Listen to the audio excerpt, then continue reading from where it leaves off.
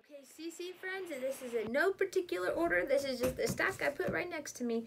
Um, this is not cycle two, but we do love it, so I put it in here. We ended up getting this. This is uh, $5.99. This is about rocks and minerals. This went with cycle one, and my kids have loved it. Uh, rock identifier. Throwing that out there. For art, we have loved this one. This one does cover uh, quite a few different cycles.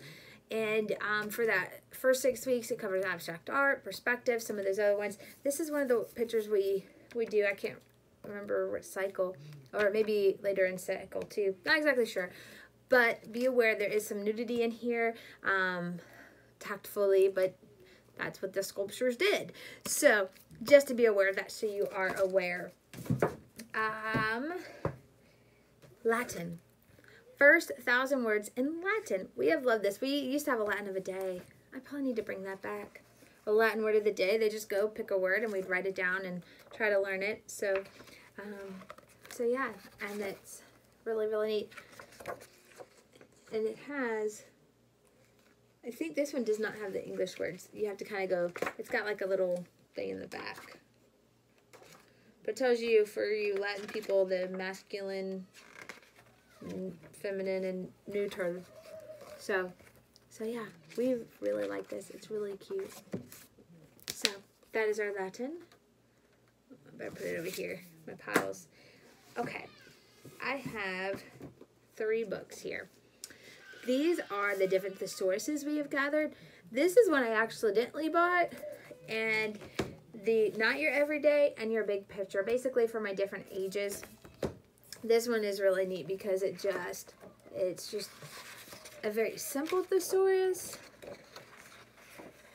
Um, this one's a little bit harder for like our essential kids. Like if I want to know a a certain word, I'm going to use this one. If I'm talking about something like when we did knights, we pulled up the knights one, and then we found words there too. Or sometimes we'll have them both open.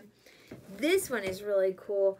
This is like that big picture one, but it's just has so many, it just has a lot more words. But it's kind of set up the same. So like, look, we did Vikings, um, and so we had this one and it was describing barbaric, brutal, fearsome, ruthless. So things like that um, was really nice.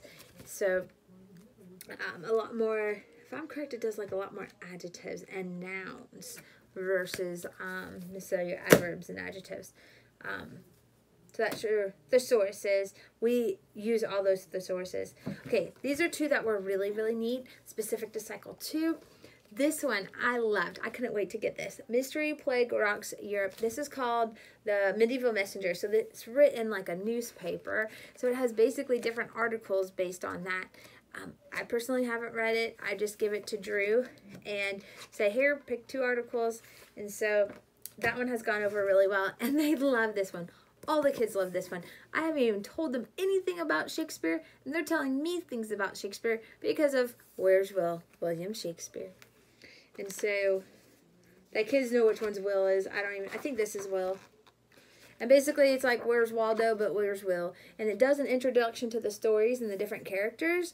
And so they're starting to learn more about it. And I, I'm not even a big Shakespeare buff. So, so yeah, they have loved this one. Again, covers all the ages.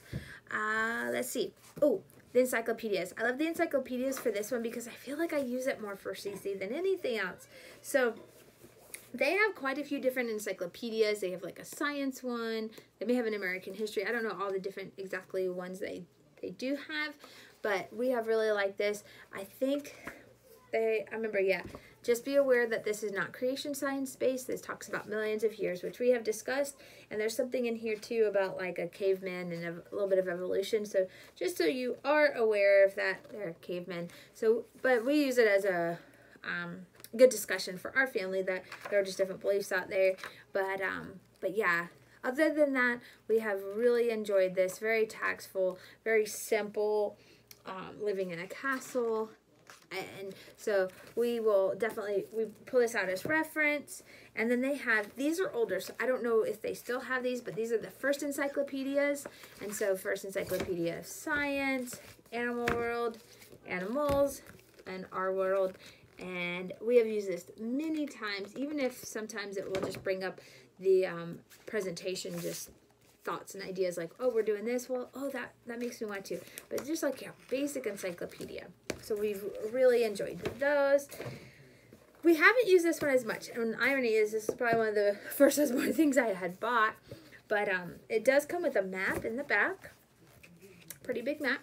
And it's just a little bit too busy. And my kids were non-readers at the time. We're definitely using this more now that my kids read. That's just the truth. Um, because it's a lot of reading. It's just really busy. But we do enjoy it. Um, and when we start going in like those little places, it's hard to tell what belongs to the Ireland and it's harder to tell. Um, but they are learning things and it's really neat to see what they do pick up. And Usborne goes into like the whole flap thing and kids retain more. That's the gist of it. Uh, one of the other things we have liked is these wrap-ups. Uh, we have addition and multiplication. We need to get the others. But um, if you've never seen these, these are really simple. You pick the one you want. You know, 4 times 1 is 4. 2 times 1 is 2. And then on the back, it will match up to the lines so you can self-check. So that is that is our math favorites. That is stuff we have purchased It's quite a bit. so those are my CC favorites. Wanted to keep it short, simple, sweet. Have any questions, let me know. Happy shopping. Thanks. Bye.